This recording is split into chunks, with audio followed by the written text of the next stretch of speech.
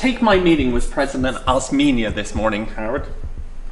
He came in wanting to assure me that the Philippines would remain strong allies, and I wanted to show him that I was committed to their independence. Even if the Senate doesn't like it, it would be my objective. Yes, Mr. President. I assured him that we were bringing America's formal empire to an end, and he agreed that this was the right decision.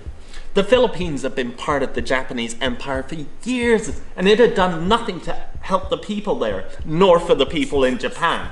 Yes. President Osmeña told me of how he received a letter from a boy of nine years who said that he didn't want anything Japanese to eat and only wanted more American candy. yes. Well, I told him that whilst America's formal empire is leaving the Philippines, it's good to know that the Hershey's chocolate empire of Pennsylvania will remain there. Yes, Mr. President. And was President Osmeña sure that you could speed up independence for them? I have to assure myself first, Howard. It's the Senate that I have to convince now.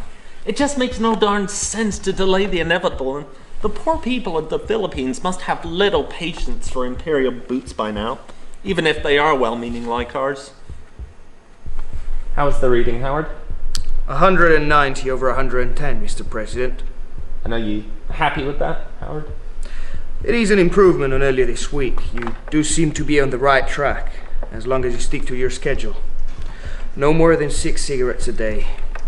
Keep eating more and asleep by 10 p.m.